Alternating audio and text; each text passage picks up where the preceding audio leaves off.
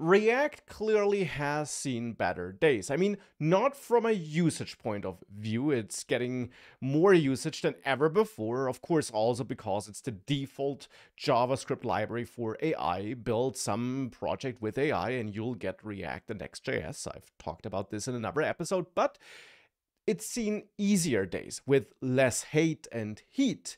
I mean, over the last couple of weeks, we had three major vulnerabilities. One of them being so severe that attackers could execute code on your server if you were affected. By the way, make sure you patch your React applications if you're using Next.js or some other framework that supports React server components, you're likely affected. But the amount of hate is really a bit staggering to me because there are things you can criticize but then there are also some things that are really not that bad that some people make them seem. But let's dive a bit deeper. What are we talking about? It was actually in 2020, so yeah, five years ago, uh, almost to the day uh, five years ago, that React Server components were introduced. What's the idea behind React Server components? Well, the idea back then, and, and still today, was and is that you could render React components on the server, but not in the sense of server-side rendering, where you render them initially and then that's it, but instead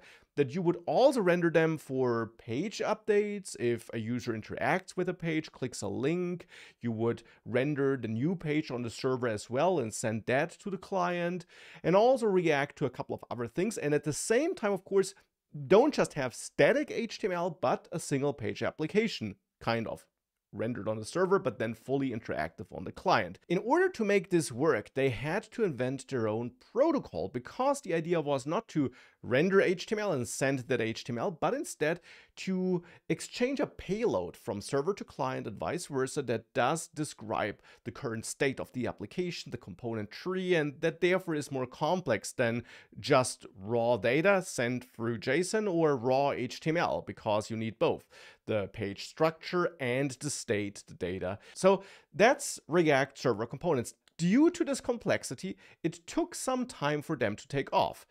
Remember, they were initially announced in 2020, and then the first time you could actually really use them was in 2022, so two years later, with the release of Next.js 13, which gave us a beta version of the app router, which of course nowadays is the standard router if you're building a new Next.js application. For a very long time, you could actually only use React Server components in Next.js, and that brought its own problems and some fair share of criticism because it felt like React was kind of Next.js. There was such a close connection that it didn't really feel like you could reuse React without Next.js, at least if you wanted cutting edge features like React Server Components. It's also not just React Server Components, we also have like the other side, server actions, which in the end allow you to submit a form and behind the scenes an HTTP request would be sent to your server, would be handled there, and you would get back an updated payload that updates your React application. So an updated React server component, if you want to call it like this. That's in a nutshell how it works. And therefore, of course, we kind of blend backend and front-end code, server-side and client-side code, because you have React on both ends, and there is this magic going on where you have components being rendered on the server, this special kind of payloads being sent back and forth, server actions, and of course, the vulnerabilities I talked about. These are related to React Server Components, specifically to that protocol, the React Flight protocol, as it's called, that's being used for communicating between client and server. However, what's really important is that it's not per se that blending of client-side and server-side code that's a problem here, only indirectly, if you will, because of course that protocol was invented to be able to blend these two ends. But when it comes to being able to fetch some data on the server and then render a dynamic page based on that, that's in the end how PHP always worked, right? So back when we built very primitive, simple PHP apps, you could reach out to a database and then send back some HTML code based on that. And now with React and React Server components, it's kind of the same. You have that mixture of client side and server side, but of course, it's a bit more than that because unlike PHP, with React, the idea is that you have a fully interactive client-side application powered by JavaScript. And that's why this extra protocol was invented, because it doesn't stop after this initial transfer from server to client. But from time to time, I see this image pop up, which is from an early presentation of React Server Components, and I believe its support in Next.js. And this slide is often used by people to criticize React and how insecure it is. And I want to be very clear, and you probably heard it before, nothing about this code on this slide is insecure. This SQL statement runs on the server, and no, there is no SQL injection going on here. This SQL tagged literal here make sure that all the input is sanitized. So this is secure, even though it might look a bit weird and it might look like we're uh, reaching out to some SQL database in our React component.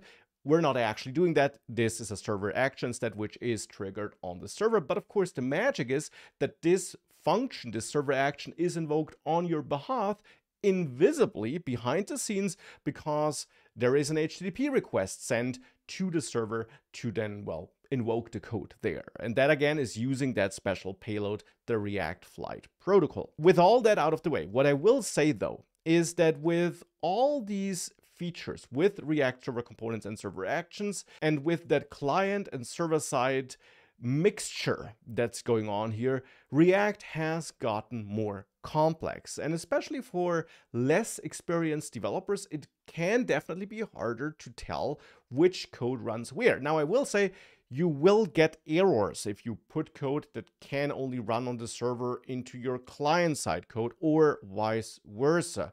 You can't really mess this up, at least not that easily, I'd say.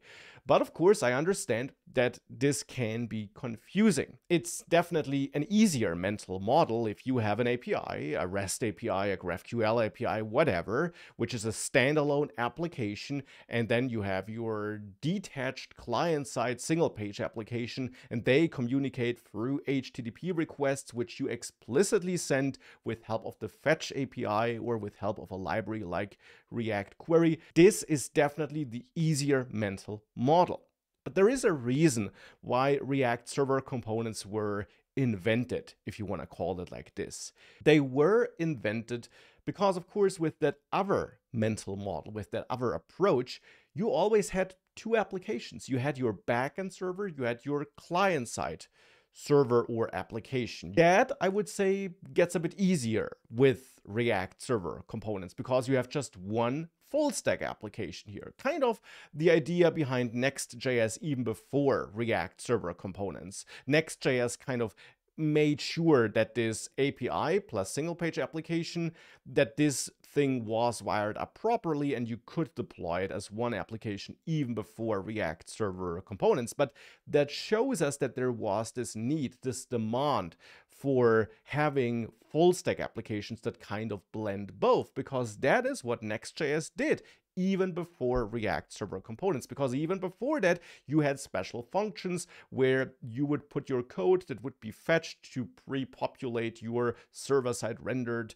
uh, components on the server. We had that before React Server Components. React Server Components came because there was a need for this kind of application if you don't like them, if you don't want them. And there are good reasons for that. If you don't like that mental model of blending server and client side code somehow, you don't have to. You can still build your standalone single page applications with React with any router or any libraries of your choice. Could be React router, could be Tanstack router, could be Next.js, but that doesn't really make sense because Next.js is really more of a full stack framework. And then you can have your detached API, your REST API, your GraphQL API, whatever it is. You can still do that if that makes more sense for you, if you prefer this approach. And I will agree that React got more complex over all these years with suspense, React server components, server actions, all the optimization hooks that exist in there, the React compiler, which is there to make optimizing simpler again, that can all feel very overwhelming. I mean, I remember a time where React was pretty straightforward. You had your class-based components for stateful components, your function components for stateless. There were no hooks. It was relatively easy and simple. You had other problems back then. Uh, for example, that you had to switch between class-based and functional components. You had to rewrite and refactor your components if you suddenly needed state. So that was also not great. But yeah, it was probably a simpler mental model. I totally get this point, and it is fair to criticize this. It's also important to point out, though, there are alternatives. Of course, you might not have them if you're in a company that uses React, like many companies probably do, but if you're not, you got alternatives. If you are somewhere where you're forced to use React, it's probably worth noting that despite all this complexity, and again, there are good reasons why things got more complex, React typically does still save you lots of headaches because it is built to do many optimizations for you. Some complexity comes out of that urge to to optimize stuff for you or to load and render parts of the page efficiently and these are ultimately benefits you get out of react or out of using react at least potentially nonetheless there definitely are things to criticize about react and i too hope that we won't see more and more and more complexity being layered on top of React. But at the same time, all these discussions about how insecure it is because it blends client server-side code like this, I really can't hear them anymore. Because, in my opinion, that is not really the main problem here, and it's definitely not the root of these vulnerabilities.